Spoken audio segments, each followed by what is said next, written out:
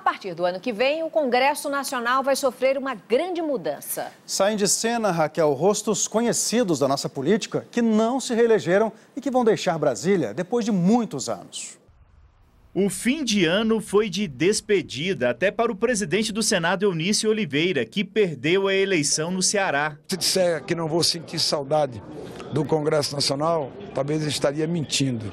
Mas eu, eu tenho condições de superar e de continuar fora do mandato. Não se faz política apenas com mandato. Dos 33 senadores que tentaram renovar o mandato, apenas oito conseguiram.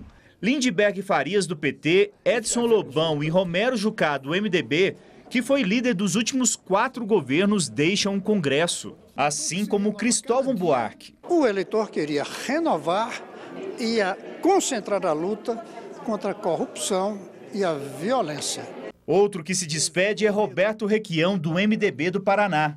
Brasileiros, contem sempre comigo, enquanto eu viver. A história mais curiosa dos parlamentares que ficam sem mandato é a do senador Magno Malta. Ele se recusou a ser candidato a vice de Jair Bolsonaro para tentar permanecer no Senado mas Magno Malta acabou sofrendo uma derrota nas urnas e mais outra derrota nos bastidores. E não foi escolhido ministro do novo governo, que assume o comando do país em janeiro. No discurso de despedida, Magno Malta disse que retorna para o Espírito Santo e para o trabalho de recuperação de dependentes químicos. Ele evitou o clima de lamentações. Combati o bom combate, acabei a minha carreira mas guardei a minha fé. Na Câmara dos Deputados, a renovação será a maior desde a redemocratização do país. Serão 243 deputados novos, quase a metade da casa.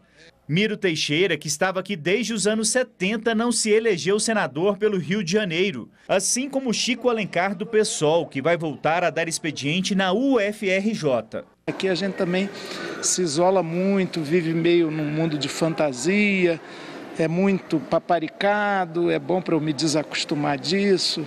O deputado Silvio Costa está na mesma situação. Ninguém mata político vivo.